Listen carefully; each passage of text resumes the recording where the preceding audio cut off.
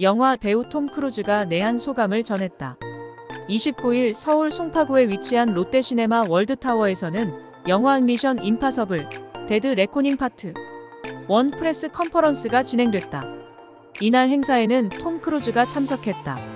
본격적인 내한 행사를 앞두고 전날 대한민국에 도착한 그는 작년 더탑건 매버릭 이후 1년 만에 한국을 재방문하며 1994년 영화 뱀파이어와의 인터뷰로 한국을 첫 방문했던 톰 크루즈는 미션 임파서블 2 바닐라 스카이 작전명 발키리 미션 임파서블 고스트 프로토콜 잭 리처 미션 임파서블 로그 네이션 잭 리처 네버 고 백 미션 임파서블 폴아웃 탑건 매버릭까지 총 10차례 한국을 방문했으며 할리우드 배우 중 가장 한국을 많이 방문한 배우로 손꼽힌다.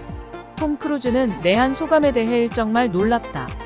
올 때마다 따뜻하게 환대받는 기분이라며 어제 밤에는 코리안 바베큐를 즐겼는데 정말 맛집이었담라고 웃었다.